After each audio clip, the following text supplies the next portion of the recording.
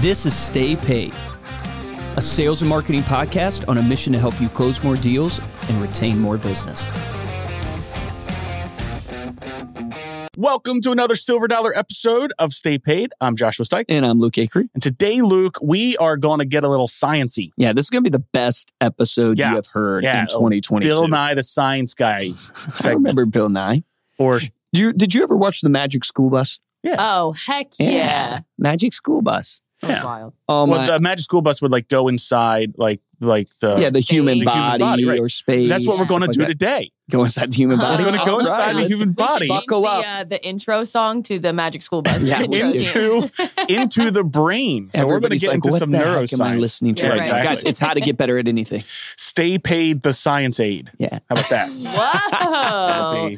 That'll be our new episode series. I love Just it. for this one. Just for this episode alone. So anyway, I read this book recently by Daniel Coyle called The Talent Code. Okay. And I was telling you about it a couple weeks ago because Yep. it's like I just got so into it from the standpoint of, you know, when you think about talent or you think about doing anything well or getting better at something, there's been this long sort of standing uh, idea that like nature versus nurture, right? You're either Sure. born with a talent or you were raised in an environment that fostered that talent. And of course, we all know that you get better uh, at things by practicing. So if you're raised in an environment where something, where a particular sport's really popular, or your family, you know, is really into something, you're naturally going to be doing something more uh, to get better at it. But what was so cool was when broken down from a neurological standpoint, the ability to get better is actually controlled by this thing called myelin, right? And so Yes. you may have heard of this. You may back remember back to your high school science or biology classes talking about myelin because we've known about this stuff since the 1700s.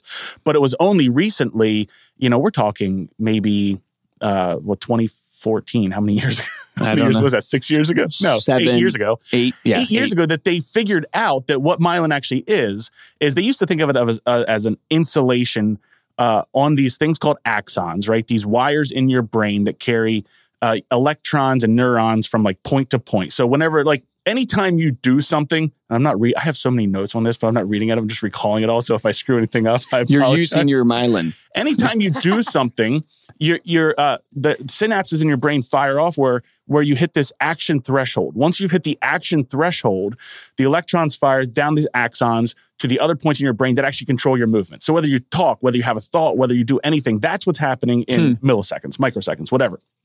The stuff that coats those wires is called myelin. They used to think it's just like a, a coating, you know, protective coating. It actually, the more myelin that you build, the faster and the easier the pathway between electron to electron. So the better that you get you get at things.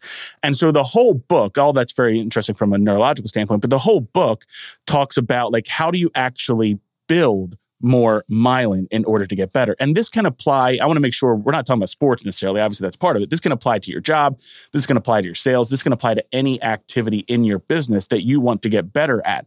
So the first thing that they talk about, there's three things we'll go over. One is deep practice. The second one is uh, an ignition point. So you have to have something that actually ignites your desire to achieve something. And then the third one is coaching. But as it relates to deep practice, the use of deep practice actually increases the myelin around your neural pathways. You do this through repetition, making mistakes, and then fixing those mistakes. Yeah, it's so it's it's crazy to think about it from a neurological perspective because obviously everybody knows you got to practice to Yeah, get better, yeah. and we've said it before. Practice makes but perfect. to think We've about it from a neurological standpoint of like you're building the myelin Yeah. in your brain. But the idea of deep practice, what I always point out for people is like the 10,000 hours to master something. Yep. And you, I mean, think about how long that is. I always give the point like most people barely practice at all. Think about your listing presentation or your sales presentation if you're going to sell somebody insurance and, and that whole thing. How many times have you practiced that? Are you practicing that every single day? If you just practice 30 minutes a day, which is more than what you're doing right now,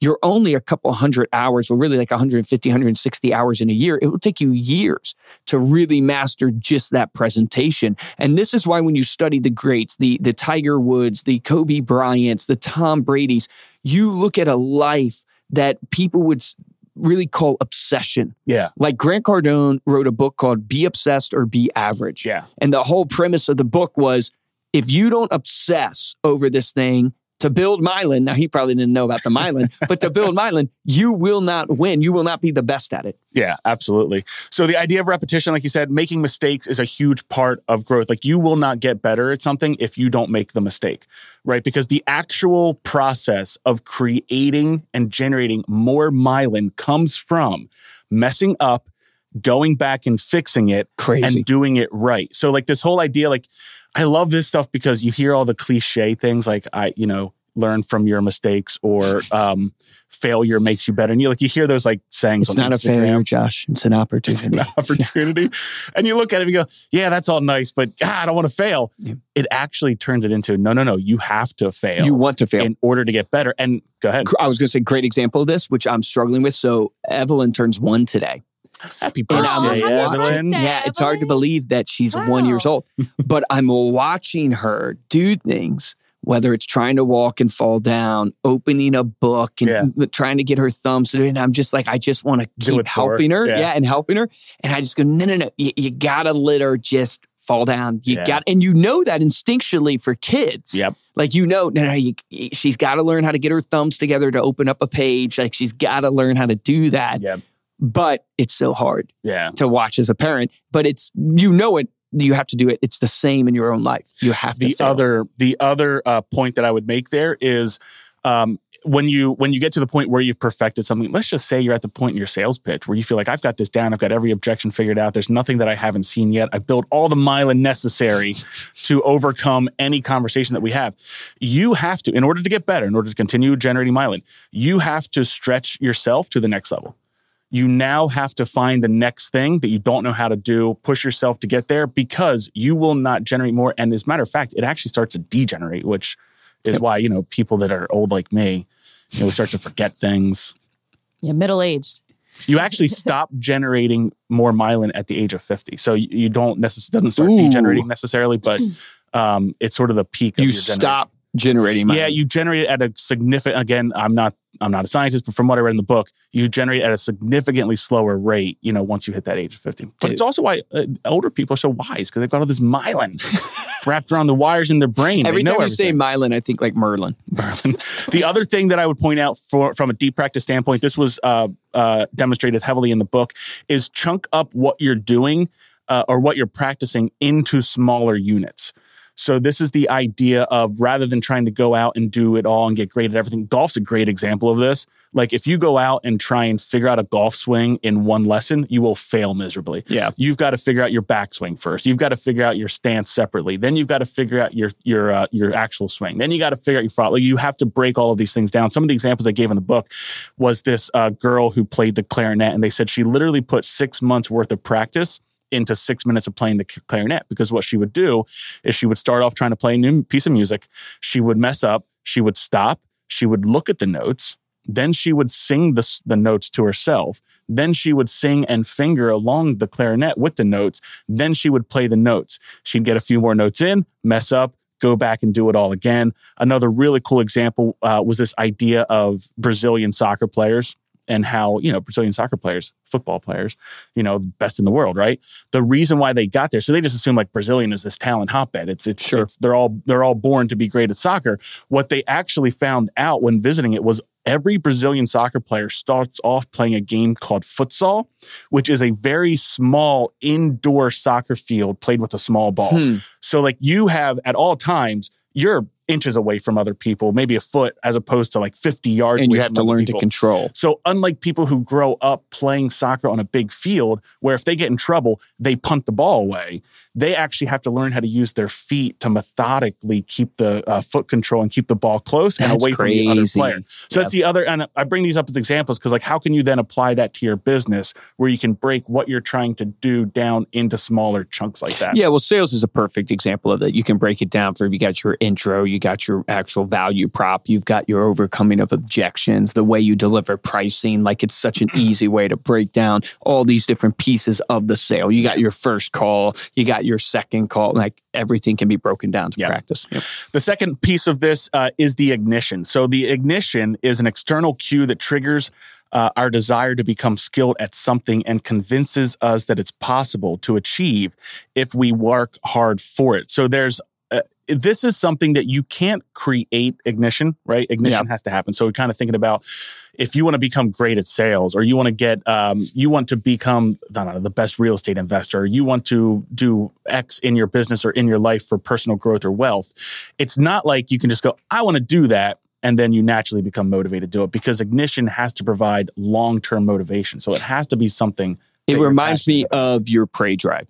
Yes uh, Coach Burt. Yeah, Um, if you go and listen to Coach Michael Burt, he talks about Prey Drive and finding the things that ignite your Prey Drive, ignite your ignition that will get you into deep practice. Yeah. So, one of the things that ignites my ignition uh, for me is what I would call providing freedom for my family, my sphere. So, I, I constantly think about those things like if I am struggling to get the motivation to work and get the motivation like everybody does to to show up every day with my 100%, I just try to sit there and meditate on some of those you know action buttons for me. So one of them is freedom of my family. Another um, one would be competition.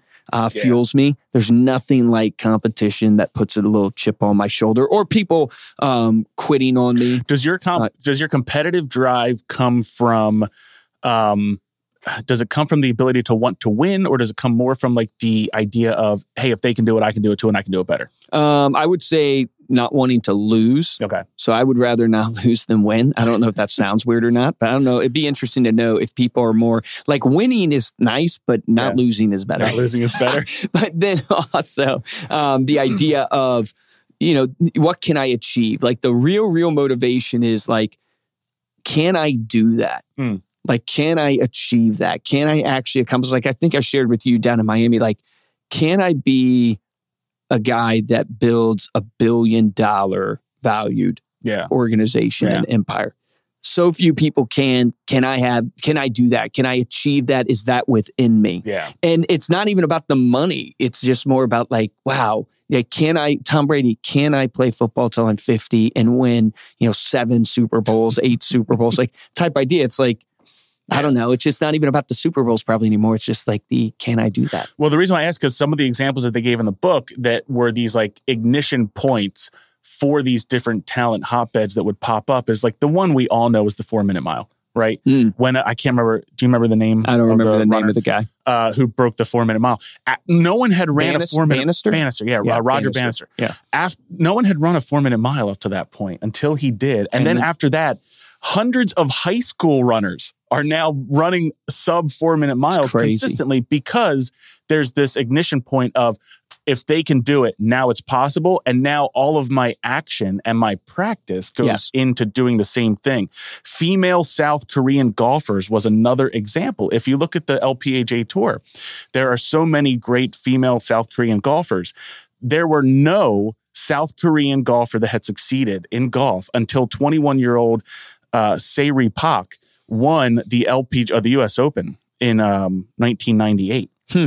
Now, 45 South Korean players have won a third of the major events since then That's crazy. That's because they you're, saw her on TV and I watched an interview with them and they all remembered like every moment. One of the moments was like, we remembered when she took off her socks to hit that ball out of the water. And they looked at us and said, if, if she can do that, I can too. Yeah, geez, that's crazy. Yeah. Well, you know, like if you ever compete, you want to go second. Yeah. Like American Ninja Warrior, you want to go second, baby. I don't know if anybody watches that show, but you want to go second. Love that show. There's a couple things you can do to help kind of facilitate the ignition uh, opportunities. You know, you can create these moments where ignition can happen. Uh, create encounters, right? Hang out with people that you want to be. Like we Yeah. talk about the you you are the five people that you hang Yeah, around, right? correct. Join networking groups. Put yourself in positions where you will see people. You want to know if you can run a billion dollar company. Go make sure that you're hanging out with people that have successfully built a billion dollar company, Yep. so that you can then see if they can do it. I can do it too. yeah, stay broke.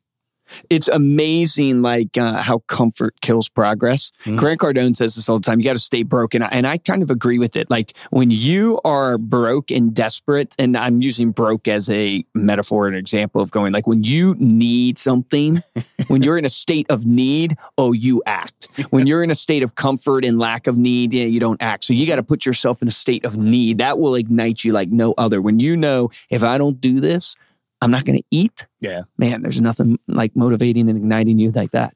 So those are the first two. So these three things, again, these are things that build myelin, which ultimately helps us get better at things. Deep practice, ignition. The third one, we're not going to take a ton of time to talk about because we could have an entire episode Sure. on this. But the third one that they found uh, consistent amongst all of the greats uh, is coaching. Right. So finding someone that you can uh, learn from, find, it doesn't have to be a coach you pay for. This could also be a mentor, but somebody that can push you and help you uh, uh, facilitate things like that deep practice, like those ignition points. So finding a coach or a mentor. Yeah, I would tell you like it's what you said. Every great person has had a coach. Mhm. Every I, I don't think there's probably someone who's accomplished anything without having a mentor or a coach. And you just the real key there is being open and committing to what that person is coaching you. Yeah. I think being the right type of person where you actually listen to the coach is really the pain point for most people. It's like you actually have to show up, you actually have to listen, you actually have to humble yourself. Most people, when they hear coaching and stuff like that, they hear it, but they don't apply it. You got to apply it. Find the right coach, right? So, like, it would be worse to stick with a coach that you're not taking their advice rather than firing that coach, letting that mentor go, and going Yep. find a mentor who does drive you. Yep. All right. Thank you so much for listening. I know we got a little head, head, heady. Yeah. A little a little head, a little myelin. We're coming out of the ear canal, out of the brain, back to this playground here at the Magic School Palace on Stay Paid Science Aid. Thank you so much for listening. Head on over to staypaidpodcast.com for the show notes uh, and the video of this episode. Again, the book, if you're interested, is The Talent Code by Dan Coyle. If you're interested in supporting the show, there's two ways we ask you to do it. First way is to head on over to Apple Podcasts, drop us a five star review and a comment so we can read it here on the show. And the best way to help out the show and show your support is to share this episode with somebody and share it on your social media. Luke, Yes. why don't ants get ill? Why don't ants get ill? Sick. They have you know? the antidote.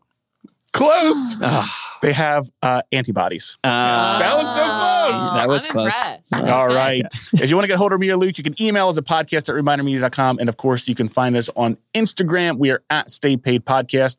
For this episode of Stay Paid, I'm Joshua Stike. Guys, I'm Luke Acree. Here's what I would challenge you to do find the ignition for yourself. What is that igniting thing that gets you moving, that gets you into deep practice? Sit down, think about what is it that ignites you, that that fires your prey drive, as Michael Burt would say, so you can get into deep practice.